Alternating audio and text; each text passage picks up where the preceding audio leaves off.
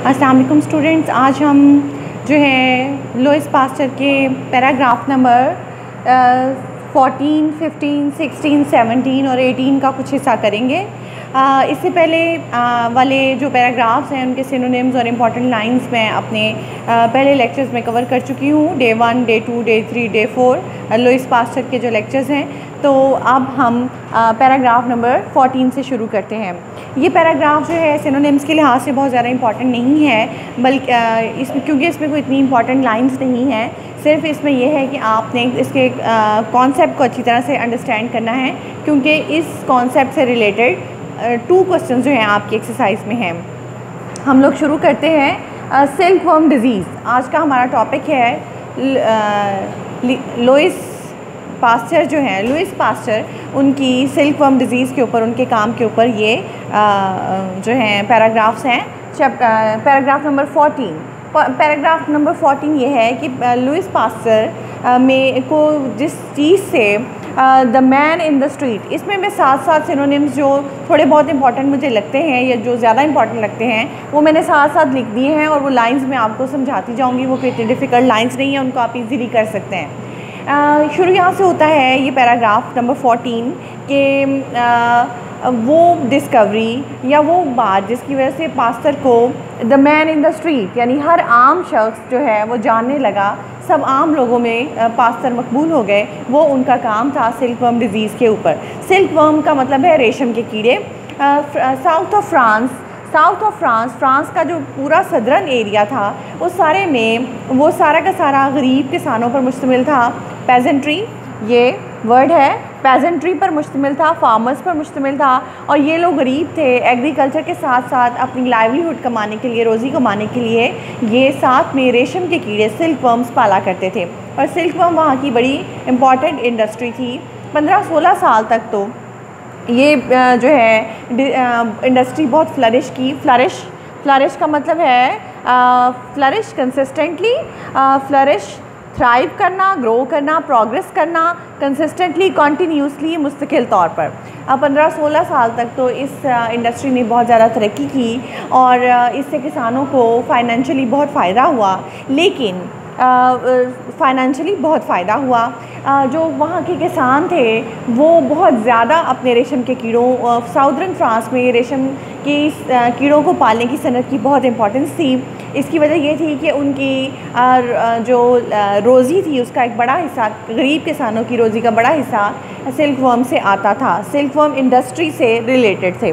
औरतें जो थीं वो उन्होंने अपने आ, उन किसानों ने अपने रूम का बे अपने घर का बेस्ट रूम सेट असाइड कर रखा था। इन रेशम के कीड़ों के लिए सेट असाइड रिज़र्व करना स्पेसिफाई करना, मखसूस करना। उन्होंने अपने घर का बेस्ट रूम इस इन रेशम के कीड़ों के लिए स्पेसिफाई कर रखा था। फॉर रेयरिंग और वो रेयरिंग करते थे, यानी उनको पालते थे और टेंड करते थे, देखभाल करते थे उन रेशम के कीड़ों की। औरतें रातों को उठकर रेशम के कीड़ों को, यानी सिल्क वार्म्स को फ्रेश मलबरी लीव्स जो हैं शतूत के ताज़ा पत्तों की खुराक खिलाया करती थी। और ये देखने के लिए वो रातों को उठा करती थी कि उनके कमरे में, यानी रेशम के कीड़ों के कमरे में ज़्यादा सर्दी तो नहीं हो गई और उनका टेम्परेचर मुनासिब करने के लिए वो बार बार अपनी रात को उठकर इन रेशम के कीड़ों की देखभाल किया करती थी। और वो जब आपस में मिलते थे तो यानी सदरन फ्रांस के जो पेजेंट्री थी किसान थे वो एक दूसरे से मिलते थे तो ये नहीं पूछते थे सलाम दुआ ऐसे नहीं करते थे कि हाउ डू यू डू आप कैसे हैं? वो ये पूछते थे how are your silk worms doing? आपके रेशम के कीड़े कैसे हैं?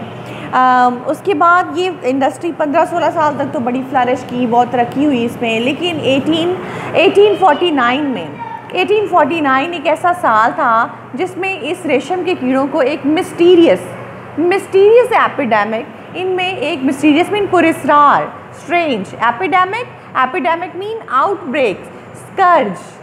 Scourge epidemic वबा फैल गई एक पुरस्कार वबा फैल गई और ये रेशम के कीड़ों की सनत जो है ये तबाह होने लगी। इससे किसानों को माली तौर पर बहुत नुकसान होने लगा क्योंकि वो पैसों के लिहाज से अपनी रोज़ी के लिहाज से बहुत ज़्यादा इन पर डिपेंड करते थे।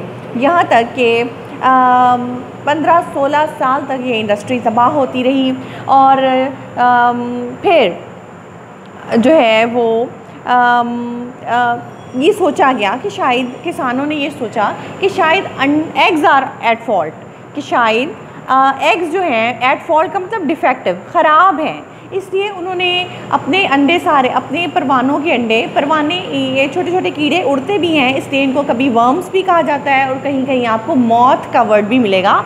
मौत मीन परवाना इंसेक्ट ही होता है ये भी। जैसे शमा के इर्द गिर्द वो परवाने से इकट्ठे हो जाते हैं, ये भी उस साइज़ में थोड़े से छोटे कीड़े होते हैं जो उड़ते भी हैं। इसलिए इनके लिए दो वर्ड्स राइटर ने यूज़ किए हैं मौत का और दूसरा इंसेक्ट का और तीसरा वर्म का वर्ड भी यूज़ किया है। इसलिए कोई भी वर्ड यूज़ करें, आपको पता होना चाहिए कि ये रेशम के कीड़ों से ही रिलेटेड बात है। जो उन्होंने, किसानों ने सोचा कि शायद एग्स में कोई प्रॉब्लम है, इसलिए उन्होंने इंपोर्ट कर लिए। एग्स जो हैं, वो दूसरे मुल्कों से मंगवा लिए। पहले जब उन अंडों जो एग्स उन्होंने बाहर के मुल्कों से मंगवाए, वो एक उनसे जो जनरेशन पैदा हुई, वो सारी की सारी हेल्दी थी। और एक जनरेशन के लिए तो ये मसला सॉल्व हो गया कि उनको वो बीमारी नहीं थी, उनमें कोई एपिडेमिक नहीं थी। लेकिन उन परवानों से जो उन्होंने इम्पोर्टेड एग्स मंगवाए, उनमें से जो परवाने निकाले उन परवानों के अंडों से जो अगली नस्ल पैदा हुई, उनमें दोबारा से वो एपिडेमिक रीअपियर हो गई और वो मसला दोबारा का दोबारा वहीं पर दोबारा फैल गया और उससे किसानों में बहुत मायूसी फैल गई। यहाँ तक कि एटीन यहाँ तक। और फिर ये बीमारी इतनी फैली कि फ्रांस से निकल कर दूसरे मुल्कों में भी फैल गई और यहाँ तक कि सिर्फ़ जापान एक ऐसा मुल्क रह गया जिसमें ये बीमारी नहीं थी। सिल्क वर्म इंडस्ट्री ये वाला वाद मुल्क जापान ही रह गया जिसमें ये बीमारी नहीं थी, वरना हर मुल्क के परवानों को, हर मुल्क के रेशम के कीड़ों को एक ख़ास किस्म की एपिडेमिक लग गई थी। एटीन फोर्टी सिक्स यहाँ तक कि 1865 में 15-16 साल की तबाही के बाद गवर्नमेंट ने फ्रांस की गवर्नमेंट ने पास्तर से रिक्वेस्ट की कि वो इस बीमारी को इन्वेस्टिगेट करें। इन्वेस्टिगेट इंक्वायर इनटू तहकीक करना। गवर्नमेंट के नुमाइंदे मिस्टर ड्यू, ड्यूमा, ड्यूमस लिखते हैं इसको और दोमास बोलेंगे। मिस्टर दोमास नाम के एक शख्स गवर्नमेंट की तरफ़ से उनके नुमाइंदगी करते हुए पास्तर से मिले। पास्तर और पास्ता से रिक्वेस्ट की कि वो इस बीमारी को सिल्कवर्म डिज़ीज़ को जो है वो इन्वेस्टिगेट करें। पास्तर ने पहले तो मना कर दिया क्योंकि पास्तर का कहना ये था कि वो एक केमिस्ट हैं, एक कीमिया दान हैं केमिस्ट्री के एक्सपर्ट हैं, वो कोई नेचुरल नेचुरलिस्ट नहीं हैं, कोई जोलॉजी या बॉटनी से रिलेटेड हैवानात या नबातात से रिलेटेड उनका काम नहीं है, ना ही वो उसमें माहिर हैं। इस, और उन्होंने ये मज़ीद कहा कि आज तक उन्होंने किसी रेशम के कीड़े को टच भी नहीं किया, छुआ तक नहीं है तो वो कैसे इसका इलाज ढूंढ सकते हैं? लेकिन मिस्टर दुमास ने कहा कि वो सिर्फ़ अपनी ऑब्ज़रवेशन यानी जो भी मुशाहदात उनके सामने आए, वो सिर्फ़ गवर्नमेंट को बताएँ, सिर्फ़ उनसे इतना ही काम लिया जाएगा।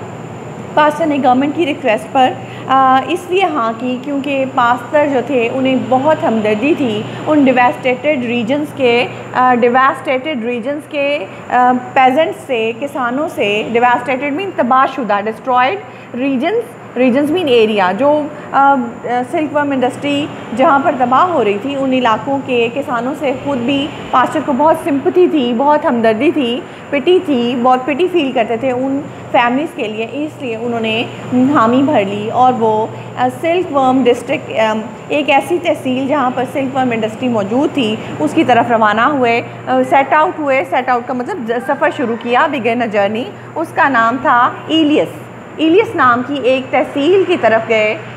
जाकर वहाँ पर उन्होंने सिल्क के ऊपर काम शुरू किया। उनकी बीमारी को इन्वेस्टिगेट करना शुरू किया। पास्तर जो थे, उनसे पहले भी कई लोग इस बीमारी को इन्वेस्टिगेट करने की कोशिश कर चुके थे। उन्होंने ये देखा था कि ये जो बीमारी है, इसमें जो रेशम के कीड़े हैं, उनके ऊपर एक माइक्रोस्कोपिक ग्रेन्स जो हैं, वो बनना शुरू हो जाते हैं। माइक्रोस्कोपिक ग्रेन्स ये हम पैराग्राफ नंबर 16 की तरफ़ मूव कर रहे हैं। पास्तर से पहले, जो अर्ली ऑब्जर्वर्स थे, उन्होंने ये उन्होंने ये देख लिया था और ये बात पता चल चुकी थी कि इन परवानों के ऊपर या रेशम के कीड़ों के ऊपर छोटे छोटे से खुर्दबीन से नज़र आने वाले दाने बन जाते हैं। माइक्रोस्कोपिक यानी माइक्रोस्कोप से खुर्दबीन से नज़र आने वाले ग्रेन्स दाने से बन जाते हैं इस बीमारी में। और तो पास्ता ने इसको स्टडी करना शुरू किया और पास्ता ने किसानों को बहुत सारी ऐसी प्रिवेंटिव यानी हिफाजती इकदाम बताए जिससे इस बीमारी से वो बच सकते थे। उन्होंने पहला पहली जो बात बताई पास्तर ने वो बताया कि हर परवाने के हर रेशम के कीड़े के अंडों को इकट्ठा तमाम रेशम के कीड़ों के आ, अंडों को इकट्ठा नहीं रखना बल्कि हर परवाने से हासिल करने वाले अंडे को आपने अलग अलग separately separately one by one individually आपने कलेक्ट करना है हर अंडे को। और यानी हर हर परवाने के अंडों को आपने अलग कलेक्ट करना है और अलग रखना है उनको सबको इकट्ठा नहीं करना। और फिर पास्ता ने कहा कि सिर्फ़ उन्हीं परवानों के अंडों को आप इस्तेमाल करें अगली जनरेशन निकालने के लिए, जिनके पेरेंट्स हेल्दी हों। जिन परवानों के, जो परवाने बीमार हों, उनके अंडों को आप इस्तेमाल ना करें, उनको तल्फ़ कर दें। लेकिन हर परवाने के अंडे को अलग अलग इस्तेमाल अलग अलग इकट्ठा करने के लिए उनको माइक्रोस्कोप की ज़रूरत थी खुरदबीन की ज़रूरत थी। पास्टर ने बहुत जल्दी रियलाइज़ कर लिया। पी यहाँ पे पास्टर के लिए मैंने लिखा है, Pasteur realise that this instrument would be a strange and terrifying thing for the peasants peasants mean farmers किसान। देखिए कितना खूबसूरत वर्ड है ना? फार्मर आप शुरू से पढ़ते आए हैं, लेकिन उसके लिए एक और बहुत खूबसूरत वर्ड है पेजेंट किसान। तो पास्टर ने ये रियलाइज़ कर लिया कि ये इंस्ट्रूमेंट जो है ये किसानों के लिए बहुत ज़्यादा टेरिफाइंग है। वो इससे बहुत ज़्यादा डर रहे हैं बहुत ज़्यादा खौफजदा हैं और इसके इस्तेमाल में बहुत हिचकिचा रहे हैं। तो पास्टर ने उनके डर को और खौफ को और हिचकिचाहट को दूर करने के लिए कहा कि इस आले को इस खुर्दबीन को इस माइक्रोस्कोप को इस्तेमाल करना बहुत आसान है। पास्टर ने कहा कि मेरी आठ साल की बेटी है और वो इसको इस, इस इंस्ट्रूमेंट को इस्तेमाल करने में बहुत एट होम है। एट होम का मतलब एक्सपर्ट होना। कि मेरी आठ साल की बेटी इसको बड़ा एक्सपर्टली यूज़ करती है, बड़े माहिराना तरीके से यूज़ करती है तो जब मैं एक छोटी सी बच्ची कर सकती है तो आप भी इसको बहुत आसानी से यूज़ कर सकते हैं। इस, यानी पास्टर ने ये बताया कि अगर आप हर परवाने बेसिकली इस बीमारी का क्या इलाज पास्टर ने बताया? पास्टर ने बताया कि अगर आप हर परवाने के अंडे को अलग अलग इकट्ठा करेंगे, अलग अलग अलग रखेंगे और सिर्फ़ उन परवानों के अंडों को इस्तेमाल करेंगे जो हेल्दी पेरेंट्स से हासिल हुए हैं तो आपको ये बीमारी जो है आपके परवानों में नहीं फैलेगी। और इस चीज़ के लिए आप खुरदबिन का इस्तेमाल करें। लेकिन इसके अलावा तीन चीज़ें जो थी और भी पास्टर ने जो हैं, वो प्रस्क्राइब की किसानों को कि नंबर वन आप अवॉइड करें अनक्लैनलीनेस को। अनक्लैनलीनेस गंदगी को अवॉइड करें, जहाँ ये कीड़े हों, वहाँ चीज़ों को साफ़ रखें। हाइजीनिक चीज़ों हाइजीनिक कंडीशंस में इन परवानों को रखें, क्योंकि गंदगी से ये परवाने जो हैं, वो लाइबल टू डिज़ीज़ हो जाते हैं, यानी उन पर बीमारी का, के हमले का खदशा बढ़ जाता है। दूसरी चीज़ उसने कही, पहली कही अवॉइड अनक्लैनलीनेस दूसरी कही अवॉइड ओवर क्राउडिंग कि एक जगह पर बहुत ज़्यादा परवाने इकट्ठे मत करें, बहुत ज़्यादा रेशम के कीड़े एक ही जगह पर ना रखें, जितनी जगह हो उतने ही मुनासिब तादाद में रेशम के कीड़े उस जगह पर रखें ओवर क्राउडिंग को अवॉइड करें। और तीसरी चीज़ जो उन्होंने अवॉइड करने को की, वो है ओवर हीटिंग फ्रांस एक बहुत ठंडा मुल्क है तो उन परवानों को फैसिलिटेट करने के लिए बाज़ात वहाँ के लोग ज़्यादा गर्मी कर देते थे उस कमरे में जहाँ पर रेशम के कीड़े होते थे।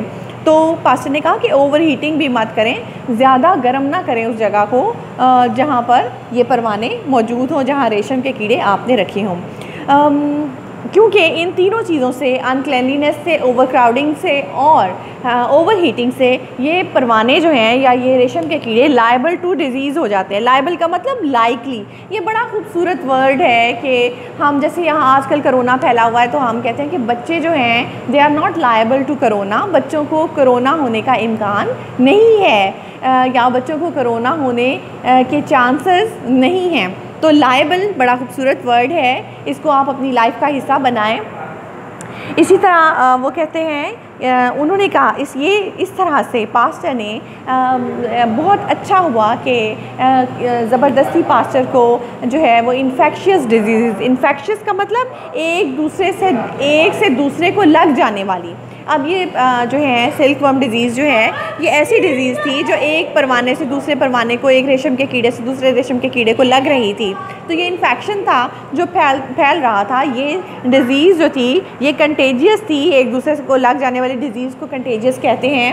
और, या ट्रांसमिटेबल थी, एक से दूसरे में ट्रांसमिट हो जाती थी। तो ये वो पहली इन्फेक्शस डिज़ीज़ थी जिसके ऊपर पास्टर ने काम किया। और इसके बाद उन्होंने तमाम जानदारों की डिज़ीज़ को स्टडी करना शुरू कर दिया। और इस सबसे बड़ी बात यह है कि इंसानों की बीमारियों को भी पास्टर ने स्टडी किया और उनके लिए वैक्सीनेशन का तरीका। अब चलते हैं अपने एटीन पैराग्राफ की तरफ़। एटीन पैराग्राफ की शुरू की चंद लाइंस जो हैं, वो सिल्क बम से रिलेटेड हैं। वो भी मैं आपसे डिस्कस करना चाहूँगी। ये था दिस वाज इन 1865 के लुइस पास्तर ने इसको इन्वेस्टिगेट करना शुरू किया इस बीमारी को। और वो इतना उन्होंने ओवरवर्क किया कि 1868 में 1868 में उन्हें एक पैरालिटिकल स्ट्रोक हुआ फालिज का हमला हुआ उनके जिस्म के ऊपर और इस फालिज के हमले को आ, जो है वो एट्रीब्यूट एट्रीब्यूट किया जाता है। एट्रीब्यूट का मतलब एस्क्राइब एस्क्राइब किया जाता है किस चीज़ से? मंसूब किया जाता है उनके ओवरवर्क सिल्क वर्म के ऊपर उनका जो ओवरवर्क था, उनका बहुत ज़्यादा मेहनत थी, उसकी वजह से उन्हें एक पैरालिटिकल स्ट्रोक हुआ, जिसकी वजह से उनके जिसम का बायां हिस्सा जो है, वो हमेशा के लिए मफलूज हो गया। लेकिन प्रोविडेंशली प्रोविडेंशली मोजाना तौर पर मेरेकुलसली लकीली खुशकिस्मती से इसके दोनों दो मीनिंग्स हो सकते हैं खुशकिस्मती से या मोजाना तौर पर उनके जहन पर दिमाग पर असर नहीं हुआ और वो दिमाग से अपना जो काम करते थे वो जो है वो इस उन्होंने इस स्ट्रोक के बाद भी कंटिन्यू किया। आ, आज के लिए इतना ही काफ़ी है। नेक्स्ट लेक्चर में मैं आपको सिल्क पम्प से रिलेटेड क्वेश्चन आंसर्स करवाऊँगी।